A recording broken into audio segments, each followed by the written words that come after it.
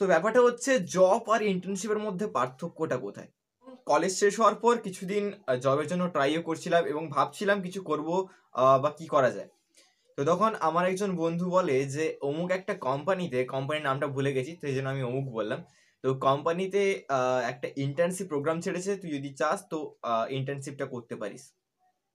ওকে তো ইন্টার্নশিপের জন্য একটা অ্যাপ্লাই করতে হয়। ইন্টার্নশিপটা ছিল সামথিং আপনার ওই তিন মাসের তিন মাসের মতো ইন্টার্নশিপ ছিল। স্টাইপেন্ড করে দিত আপনার সামথিং ওই পাঁচ হাজার করে। ওকে তো ইন্টার্নশিপ ছিল, তো পাঁচ হাজার টাকা করে। তো ইন্টার্নশিপ কথাটা শুনে আমি প্রথমেই ঘাবড়ে যাই যে হোয়াট ইজ ইন্টার্নশিপ পাঁচ হাজার টাকা করে দিবে। ইন্টার্নশিপ মানে তখন আমি জিজ্ঞেস করি, এটা কি জব কোনো? বন্ধু বলে, না, এটা হচ্ছে ইন্টার্নশিপ তো ব্যাপারটা হচ্ছে জব আর ইন্টার্নশিপের মধ্যে পার্থক্যটা কোথায়? ইন্টার্নশিপ হচ্ছে কোনো ইনস্টিটিউট আপনাকে পারমানেন্ট রাখে না, যেখানে আপনি ওই পার্টিকুলার কোম্পানির বা ওই পার্টিকুলার সংস্থা যেখানে আপনি কাজ করতে যাচ্ছেন, ওইখানকার আপনি পারমানেন্ট কোনো পার্সেন না স্যালারিড পার্সেন না। আপনি ওই কোম্পানিতে আপনার অ্যাজ এ ইন্টার্ন আপনি আপনার ওই কোম্পানিতে যাচ্ছেন একটা কাজের এক্সপিরিয়েন্স নিতে। রাইট আপনি ওই কোম্পানিতে যাচ্ছেন একটা কাজের এক্সপিরিয়েন্স নিতে এবং তার বদলে আপনি যে কাজ করছেন ওখানে এবং কাজের এক্সপিরিয়েন্স গেন করছেন, তার বদলে ওই কোম্পানি আপনাকে কিছু স্টাইপেন্ড দেয়, পাঁচ হাজার, দশ হাজার এবং যে কোম্পানির যেরকম রিকোয়ার্ড থাকে, সেরকমই আপনাকে স্টাইপেন্ড দেয়। জবটা কি? জবটা হচ্ছে আপনি কোম্পানিতে অ্যাজ এ এমপ্লয় কাজ করছেন full time part time okay আর তার জন্য কোম্পানি সমস্ত কিছু ভার বহন করছে। যেমন আপনার পিএফ কাটা হচ্ছে, আপনার ইএসআইসি কাটা হচ্ছে এবং আপনাকে সমস্ত রকম সাপোর্ট দেওয়া হচ্ছে অ্যাজ এ আপনার অ্যাজ এ এমপ্লয় কোম্পানি থেকে সমস্ত সাপোর্ট পাচ্ছেন।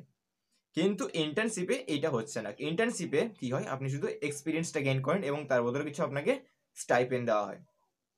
ইন্টার্নশিপ কি করাটা জরুরি খুব আমাদের জন্য? হ্যাঁ অবশ্যই।